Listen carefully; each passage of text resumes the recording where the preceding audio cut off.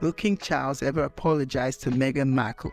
This is a question that many people have been asking since the Duke and Duchess of Sussex stepped back from their royal roles and moved to the US. The couple have been vocal about their struggles with the media, the institution, and some members of the royal family, including King Charles, who is Harry's father and Meghan's father-in-law.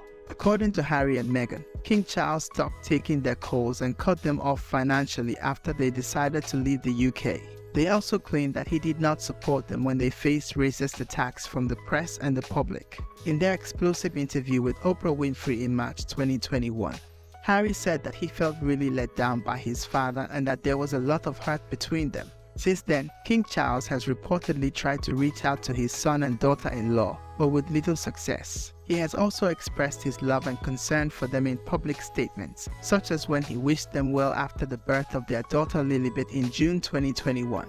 However, he has not publicly apologized to them or acknowledged any wrongdoing on his part. Some royal experts believe that King Charles will never apologize to Meghan Markle because he does not think he has done anything wrong.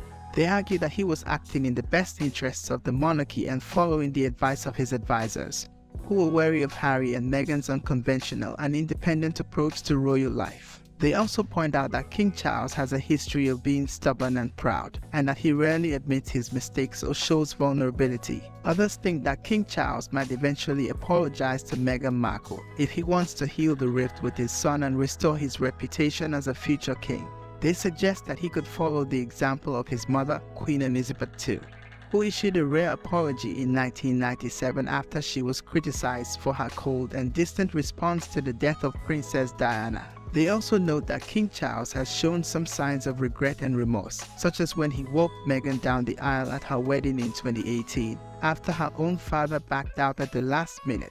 Ultimately, whether King Charles will ever apologize to Meghan Markle depends on how he values his relationship with Harry and Meghan, and how he views his role as a father and a monarch. It also depends on how Harry and Meghan respond to his attempts at reconciliation, and whether they are willing to forgive him and move on. As of now, it seems unlikely that King Charles will apologize to Meghan Markle anytime soon, but it is not impossible that he will change his mind in the future.